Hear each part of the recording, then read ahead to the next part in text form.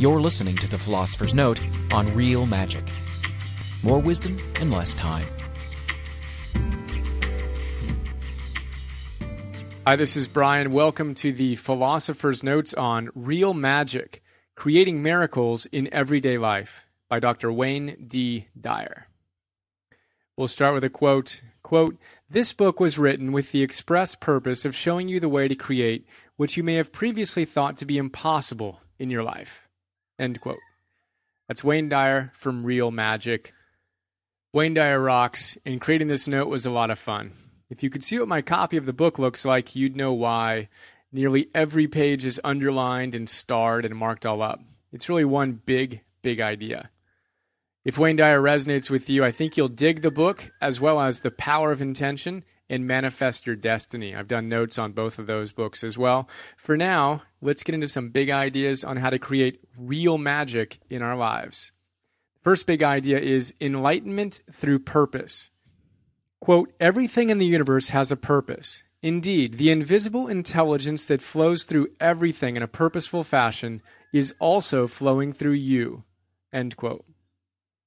Reminds me of Marcus Aurelius' great thought everything, a horse, a vine, is created for some duty. For what task, then, were you yourself created? A man's true delight is to do the things he was made for. A key aspect of Dyer's real magic formula is to live a life of purpose, where we're less focused on outcomes and more focused on living with integrity to our highest purpose. The book is all about getting in touch with that purpose and rocking it from there. Dyer also says this quote, getting on purpose in life by going within and discovering that purpose is about loving unconditionally and serving, and making contact with what is there about us always, alters one's worldview dramatically. End quote.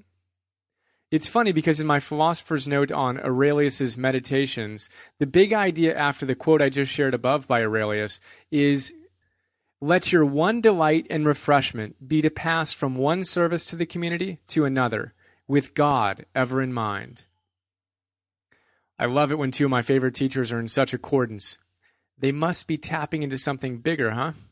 So, purpose and service, purpose and service, purpose and service. And while we're on the subject, got to throw in Martin Seligman's research on the science of happiness, huh? In his great book, Authentic Happiness, you can see the notes on that. Seligman tells us that we'll be happy to the extent we use our strengths often. If we want a truly meaningful life, we've got to use our strengths in the greatest service to the world. Again, purpose and service, purpose and service, purpose and service. Begs the questions what's your purpose and how can you serve? There's a bit more purpose mojo from Dyer. He says, quote, When you go beyond outcome in life, you find yourself unconcerned about what is in it for you. Thoughts, feelings, and behavior focus more and more on the fulfillment of your purpose. You go beyond success, achievement, and performance as indications of your life's mission. Instead, every moment is lived fully and lovingly. Material possessions cease to dominate your thoughts, which is not to say that they disappear. They simply cease to be the focus of life. Instead, your purpose takes hold, and you gain a sense of joy and inner harmony, knowing that you are divinely fulfilling your reason for being here. As Montaigne put it so succinctly, the great and glorious masterpiece of man is how to live with purpose.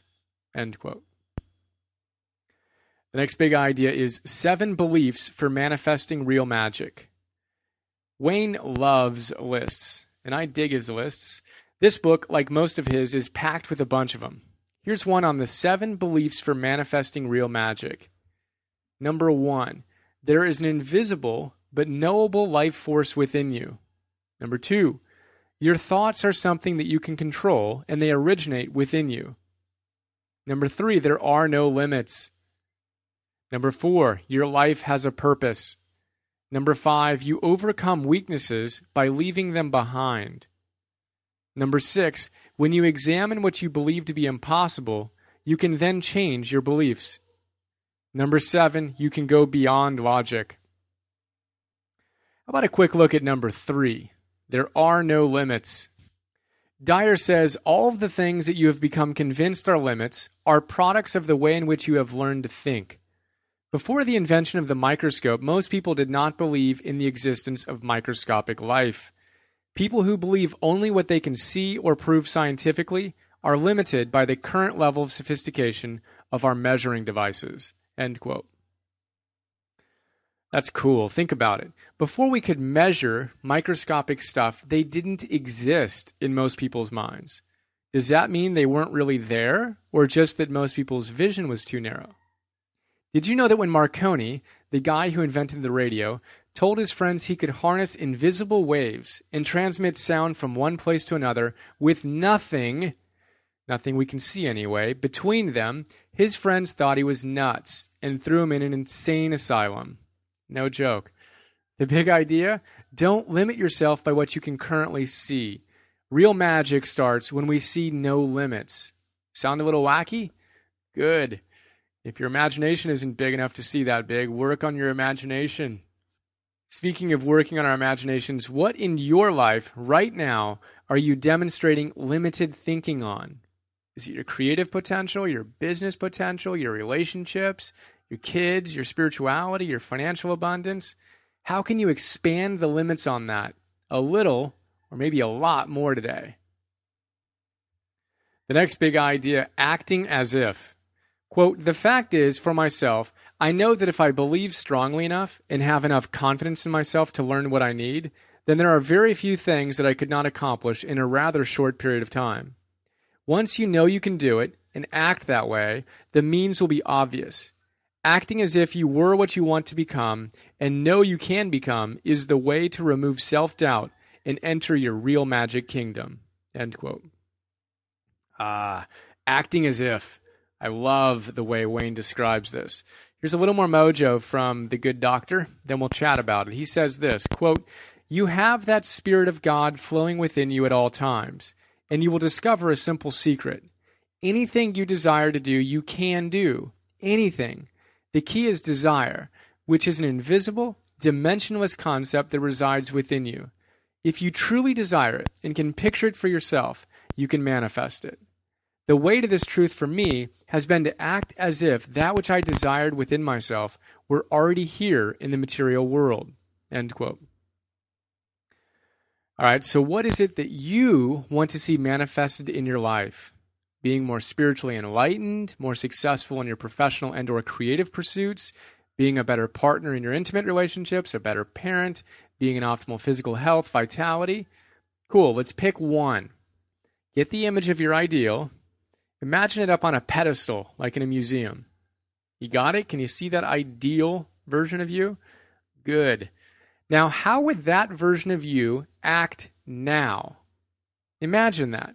What would they do? How would they walk? How would they talk, breathe, smile, laugh, sit, stand, eat? All that. Got it? Now act like that now. Seriously, try this out. It's amazing. When you feel yourself contracting into the old stress and fear patterns, conjure up the image of your ideal self in whatever domain of your life. How about your body? See how the ideal physical specimen that is you would act even when the current you doesn't want to go out and exercise. The ideal you doesn't even consider not going. So act as if you were that ideal now. You're parenting, see how the ideal parent version of you would respond to a challenge with one of your kids and act like that ideal now. Your relationship, same thing. Your professional, entrepreneurial, creative genius, same thing. Acting as if. It's really magical. Try it out. All right, the next big idea is rejoice in the prosperity of others. Quote, rejoice in the prosperity of others. When you feel contemptuous or even a twinge of jealousy toward the accomplishments or lifestyles of others, you are harboring negativity where love must reside. You cannot attract prosperity to yourself if you are filled with rancor, judgment, anger, jealousy, hatred, fear, tension, or the like. This kind of negative inner mindset keeps you from being on purpose. You cannot be fulfilled and envious at the same time. End quote. That's from a chapter on real magic and prosperity. Great stuff. I could write five notes on that chapter alone. Seriously. What do you do when you see others who are doing great things in their lives and or enjoying great material success? Do you celebrate their success or feel a twinge of jealousy or even outright envy? Pay attention. A really good way to cut yourself off from your source and your friends is to swim in negativity like that. Don't ever allow the negative thoughts to fester. Choose to celebrate their success. Which reminds me of T. Harv Eker in his great book, Secrets of the Millionaire Mind. You can see the notes. He says, Bless that which you want. If you see a person with a beautiful home, bless that person and bless that home. If you see a person with a beautiful car, bless that person and bless that car. If you see a person with a loving family, bless that person and bless that family. If you see a person with a beautiful body, bless that person and bless their body. There you go. Rejoice in the prosperity of others. The next big idea how can you serve others? Quote, when you are able to shift your inner awareness to how you can serve others, and when you make this the central focus of your life, you will then be in a position to know true miracles in your progress toward prosperity. End quote. How can I serve? How can I serve? How can I serve? Imagine that as the central focus of our lives. How can I serve? How can I serve? How can I serve? Another way to frame it is to ask, how can I share my gifts and love and enthusiasm and overall fabulous highest self with the world more today? That's a good one for your journal, by the way. Let's rock it. In the PDF, I have a section where you can write down five things, and I suggest here are five ways I'm going to share more of my highest self with the world today. Number one, way that I'm going to share more of my highest self number two, number three, number four, number five. What are five ways you can share more of your highest self with the world today? Think about that. How can you serve others more and more? Next big idea how do you surrender? Just let go. Quote, how do you surrender? Just let go. Don't strain to achieve. Instead, enjoy the process of the work that you are doing. The results will come independent of your striving for them. When your mind is on the result rather than what you are doing, you create inner discord that blocks any and all possibilities for miracles to show up. Prosperity is about process, not outcome. Purpose is about loving and giving. End quote. I love that. Couple of things. First, do you know where the word prosperity comes from? In his transformative book, Spiritual Economics, you can see the notes, Eric Butterworth teaches us that, quote, prosperity comes from the Latin root which literally translates according to hope or to go forward hopefully. Thus, it is not so much a condition in life as it is an attitude toward life. The truly prosperous person is what psychologist Rollo May calls the fully functioning person. End quote. Awesome. So to be prosperous is to go forward hopefully. And I dig the idea that we need to get our minds off the result and into the moment. Russell Simmons says this in his classic book, Do You? Of course, you can see the notes on that as well. He says, I know some people say keep your eyes on the prize, but I disagree. When your eyes are stuck on the prize, you're going to keep stumbling and crashing into things. If you really want to get ahead, you've got to keep your eyes focused on the path. End quote. It's all about the journey, folks, stating the obvious. And that journey is all about loving and giving our highest selves in joy, moment to moment to moment. So, how can you surrender, relax, let go a little more today, and trust the whole process as you love, give, love, give, and love and give some more? While you're doing that, how about this big idea from George Leonard's great book, Mastery? He says, quote, For a master, the rewards gained along the way are fine, but they are not the main reason for the journey. Ultimately, the master and the master's path are one. And if the traveler is fortunate, that is, if the path is complex and profound enough, the destination is two miles farther away for every mile he or she travels. End quote.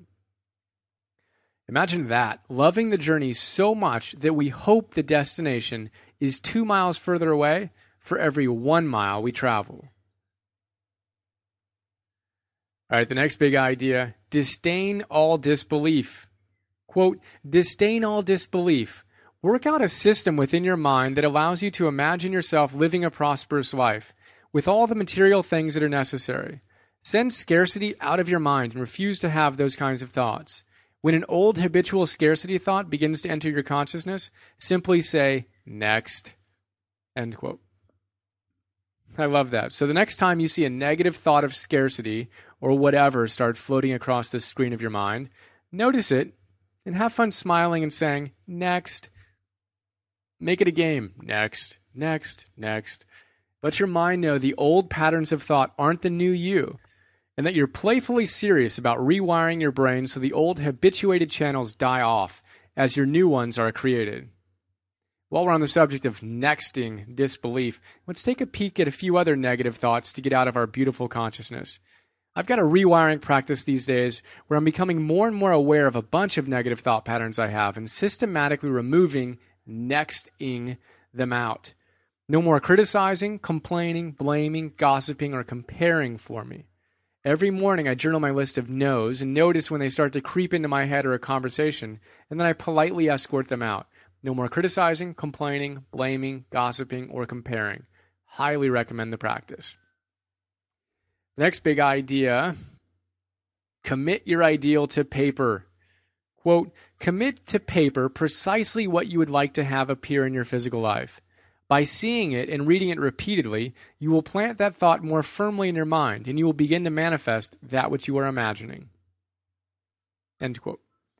You have a journal? Please say yes. If so, are you using it? Sweet. If you don't have a journal yet, please stop everything you're doing and go get one.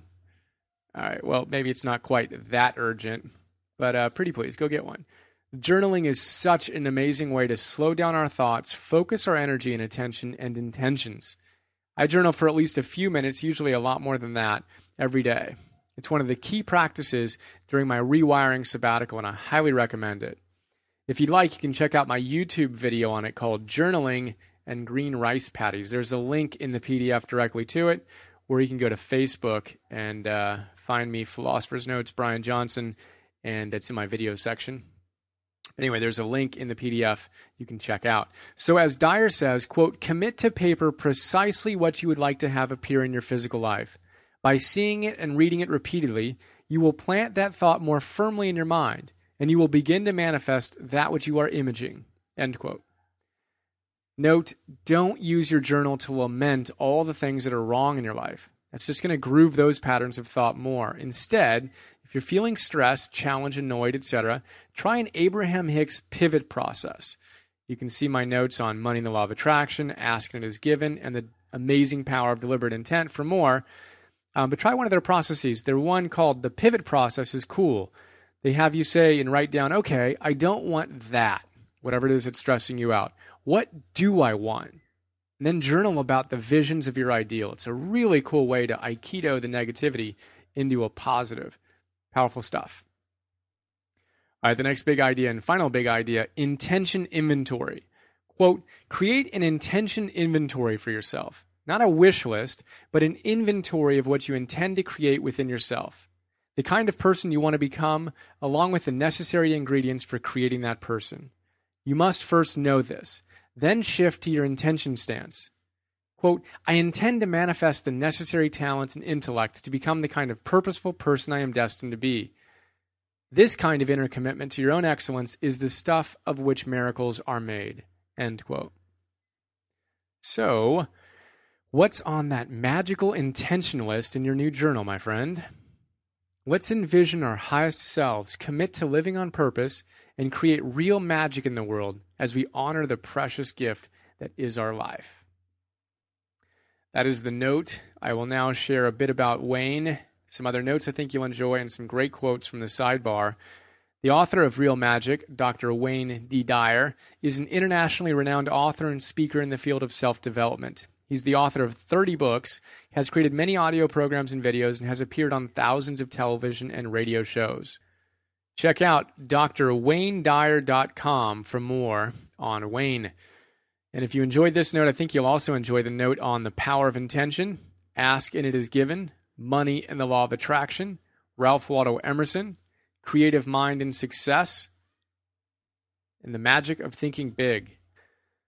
And now for some quotes. These are from Dyer. He says The spiritual being sees the physical world as an arena for growth and learning with the specific purpose of serving and evolving into the higher levels of love. Stop using sentences in your material world that reflect what it is you do not want to be.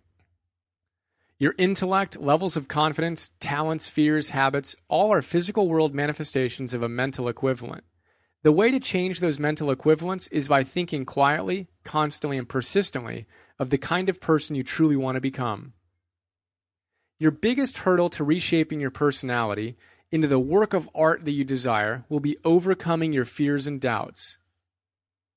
You have a divine personality. Let it come out and stop judging it. If you want to experience prosperity at a miraculous level, you must leave behind your old ways of thinking and develop a new way of imagining what is possible for you to experience in your life. When I gave up the pursuit of money, more of it flowed into my life than I had ever known before. Why? Because I was living my purpose and surrendering to the universe to provide for my needs. You must begin with a belief and then act as if that which you believe or visualize were already your reality. Begin to act in your physical world as if that person whom you would love to be were already here. I know that I can do anything that I make up my mind to do. Become detached from the outcome of your actions, and paradoxically, your level of performance will climb. Here's a quote from Ralph Waldo Emerson The ancestor to every action is a thought.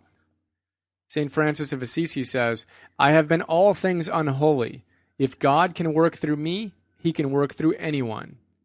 And finally, Wayne says, Every successful, truly happy person that I have encountered has confirmed their knowing that there are simply no accidents. So there you go. A quick look at Real Magic, a handful of my favorite big ideas from this great book, Creating Miracles in Everyday Life by Wayne Dyer. Hope you enjoyed. Here's to creating real magic in our lives today, tomorrow, this week, month, year, decade, lifetime. Have an awesome day. See ya.